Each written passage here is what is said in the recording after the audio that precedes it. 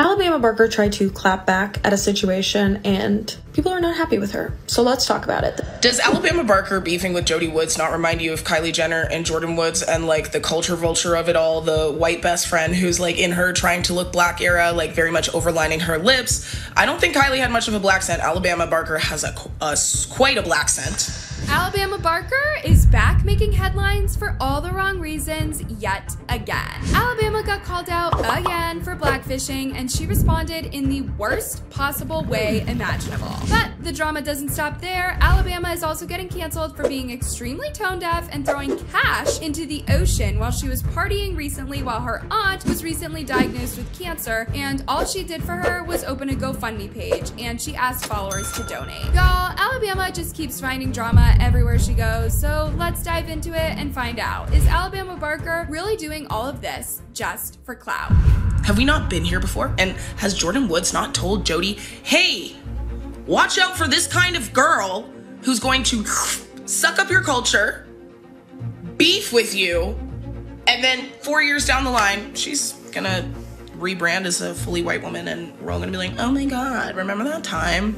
When she had her blaccent era. So it's been a while since we heard of any drama from Alabama Barker, and well, now she is back and she has drama for days. I mean, it's hard to even keep track of all of her scandals. First, we'll start with her most recent online beef. Recently, a TikToker named Kiara did a video about Alabama's beef with Jody Woods. Now, Kiara didn't get into all of the details of the beef, and she just simply pointed out the fact that Alabama and Jody's beef reminded her of Kylie Jenner and Jordyn Woods. According to Kiara, it was ironic to her how yet another person in the Kar-Jenner family is in some drama with a friend and they slowly try to blackfish and change their personalities and accents to appear more black. We've been here before, bro. Like, we just don't need to do this again. I don't want to know anything about it. I, I just think it's interesting when somebody has a blaccent and their brother does not that's always going to be interesting to me. And look, I have no idea if the beef is real, but um, she she definitely likes to beef. Like the thing the thing with Tana, Tana Mongeau. I think I think she she she likes a little bit of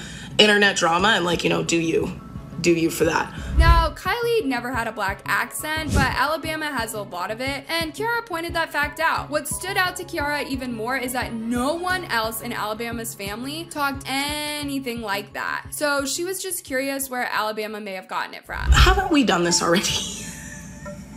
Haven't we done this already? And I feel really strongly that in a few years, she's going to rebrand um, as a Caucasian and embrace the caucasity of it all, I think we'll see less. Li- I think it'll just like Kylie Jenner. I think she will deflate and become white again, born anew.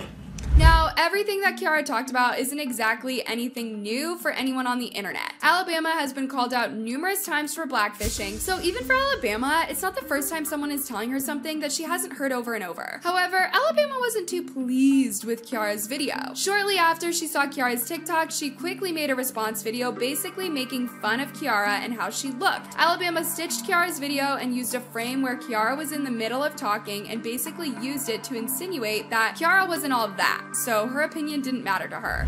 Time when she had her blaccent era Now, this didn't quite go down as Alabama had expected. I don't know if she regretted making the video in the first place or if people in her comments started calling her out or something because just five minutes after uploading that video, Alabama quickly took the video down, hoping that not many people had seen it, but sadly it was too late. Literally last night I went to bed. Apparently Alabama posted this video and deleted it within five minutes. I guess Alabama Barker first off reported my video, which I had to appeal and restore. Second of all, made that video of me a still frame of me in a video talking about something. But I'm sure she was scrolling like, oh yeah, this one, her under eyes are really popping. Look how ugly this non-Nepo baby is. Let me make fun of her face.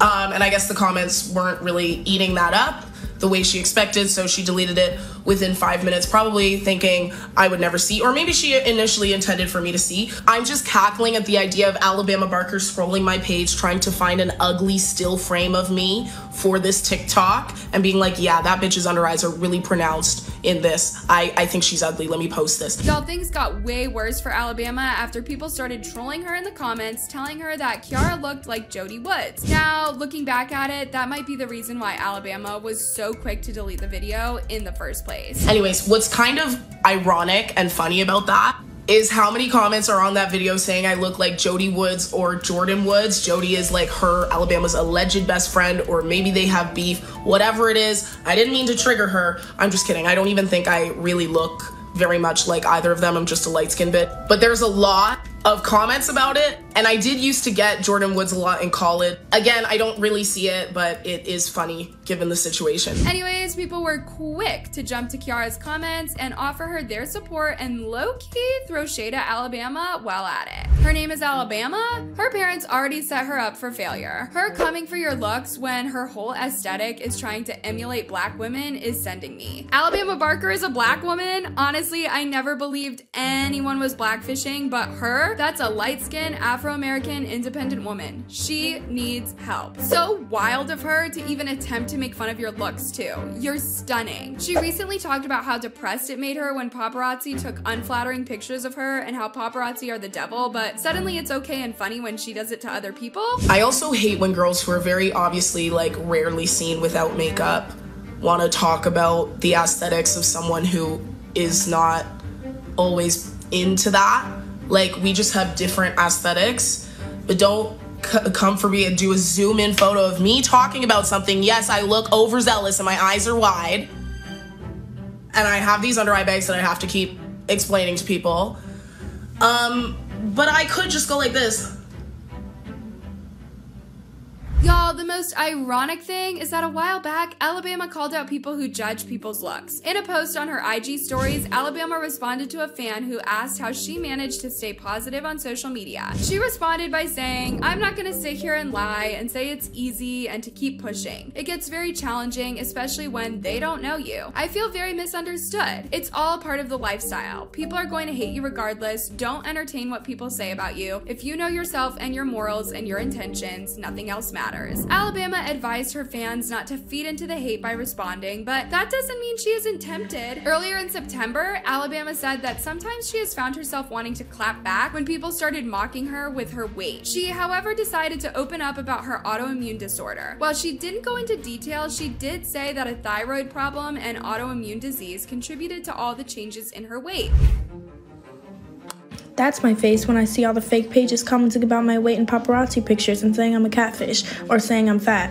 First of all, let me eat you up because I'm so fat. I also have a thyroid problem and an autoimmune disease. So that's one of the main reasons why I have weight gain. So it would be very appreciated if you guys just keep your opinions to yourself. It will get you further in life. She took to social media to say, That's my face when I see all the fake pages commenting about my weight in paparazzi videos and saying I'm a catfish. She continued to say, Or saying I'm fat. First of all, let me eat you up because I'm so fat. Paparazzi will purposely take pictures of you with your mouth open, middle of a sentence, and any ugly picture they can get out of you just for the views. You guys also act like I've gained a thousand pounds. It's like five, ten pounds which is so normal for a lot of girls. Weight fluctuates, and I don't want any girls that are young watching this that are gaining weight to ever think there's something wrong with it. Y'all, this is not even the first time that Alabama has called out other people judging her looks. There was a time a few months back when Alabama posted a lewd photo of herself and people were quick to say all sorts of things about her. So she decided to share a post on Instagram saying, let's stop getting mad on my page that you felt the need to over me and have a problem with it. I'm not going to wear long sleeves, etc. to make the internet not the body I was born with. If you have a problem, unfollow me. After this, she followed it up with a pinned comment from a fan that read, I understand that she's a minor, but what bugs me is the fact that all of you guys are judging her when God knows all of us did the same shit she's doing at her age. Maybe you guys should put down the gavel and take a good look in the mirror before you pass judgment on her. We all did it and you all know it. Get off your high horse, let her live. Now, Alabama's whirlwind drama doesn't end there. Actually, it gets way worse because Alabama was out partying recently and she was partying hard. Now, if you have ever ever seen Alabama's Instagram stories, you know she loves sharing every detail of her luxurious life, whether it's expensive watches, whether it's expensive drinks she's having, her purses, you name it. If it costs a lot, Alabama is most definitely posting about it. Now, because of that, she posted a series of pictures of her and two guys out on a boat somewhere. Now, one photo in particular happened to just leave people dumbfounded, and it was a picture showing a lot of cash that Alabama was just throwing into the ocean. Now, I know what you're thinking to yourself. This is shocking, but it looks like something she would do, and you would be correct. However, what if I told you that just a couple of weeks earlier, Alabama had taken to her socials to share a GoFundMe for her aunt who was diagnosed with cancer? She used her platform to ask her followers to help her raise $30,000 for her aunt, and then a couple of weeks later, she's on a boat throwing cash into the ocean. Now, a lot of people would argue that $30,000 to Alabama and her family is something manageable, and they could easily do it without thinking twice. People were so shocked by this GoFundMe post, and they decided to call her out on it.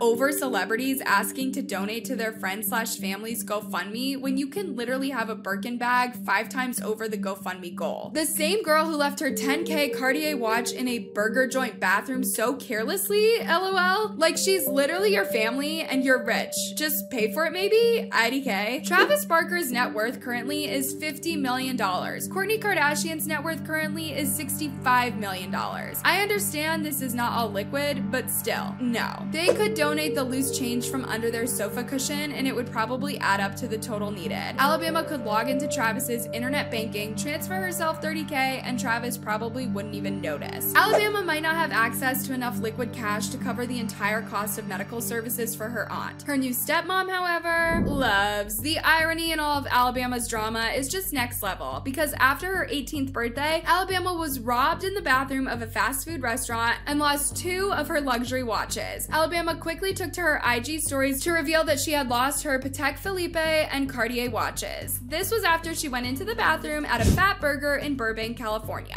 Now, nobody really knew how exactly she lost them. Like, did she leave them on the sink or something? But she said she was extremely heartbroken about it. She wrote, Whoever took my Patek and Cartier watch out of the Fatburger bathroom a day ago in Burbank, I have a reward for you. Please give it back. Loves, she then posted a couple of pics of the watches and they are allegedly worth up to a $100,000 each. Y'all, it was reported that just weeks earlier, Kris Jenner gifted her a Cartier watch, but nobody was sure if it was the same one that was stolen. Alabama also got gifted a bunch of luxurious stuff from Birkin bags to a G-Wagon. Now, you would see yet again how ironic it is for someone in her position to start a GoFundMe page asking for strangers to help her family member. Anyways, after the whole throwing cash into the ocean thing had started dying down, Alabama was back at it and making headlines again. But this time, it wasn't her fault. You see, Alabama's mother, Shanna Moakler, did an interview with People magazine, and in there she said she didn't have any kind of words for Alabama's new blended family. I'm more than just the ex-wife of famous men. I was Miss USA at 19. I'm smart. Every part I ever got in a movie or every show I hosted or auditioned for, I worked my effing ass off to get. I also don't have to like the effing Kardashians, and I'm honestly sick about talking about them. As I stand here today as a mature woman who has gone through all that, I do not give an F what anyone thinks of me anymore. I am proud of who I am. Now, Alabama and her mom haven't always had the best relationship, and to add fuel to this fire, Alabama has gotten really close to Kourtney. So she was really angry after seeing this. She took to her Instagram to post a picture of her dad and Kourtney and captioned it, my favorite people. I have to say, given all the stories that we have talked about today regarding Alabama, I have to admit that this was lovely from her and definitely a better way of handling the situation than how she chose to do it with Kiara. Anyways, what do y'all think about Alabama's recent wave of drama? Let me know your opinions in the comments down below and don't forget to check out my previous video to ensure you are up to date with all the latest tea. Till next time, bye love!